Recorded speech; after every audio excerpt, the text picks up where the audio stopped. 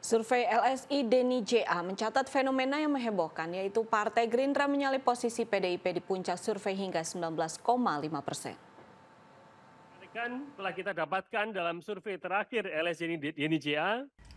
Pertama kalinya dalam survei LSI Deni JA Partai Gerindra lampaui Partai Demokrasi Indonesia Perjuangan PDIP Berdasarkan hasil temuan survei teranyarnya bertajuk Akhir Dominasi PDIP 2024 yang dirilis Selasa 19 Desember 2023.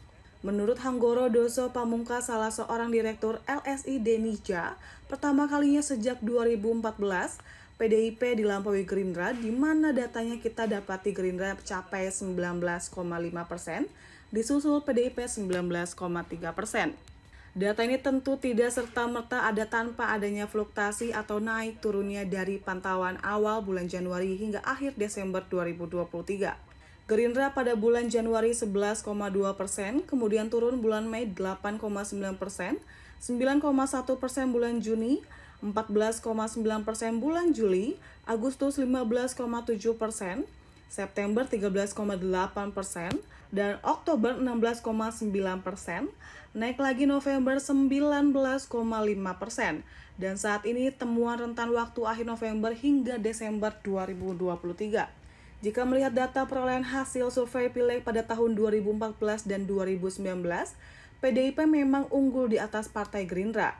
Tetapi, pada hasil survei LSI Denija kali ini, Gerindra lampaui PDIP capai 19,5 persen.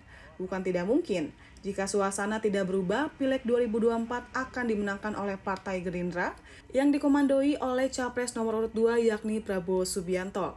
Survei LSI Denija ini dilakukan pada periode 20 November hingga 3 Desember 2023 dengan total sejumlah 1.200 responden.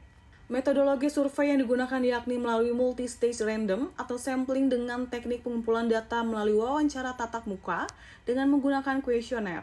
Adapun margin of error kurang lebih 2,9% dengan tingkat kepercayaan di 95%. Dan ini memberikan dampak elektoral kepada Partai Gerindra.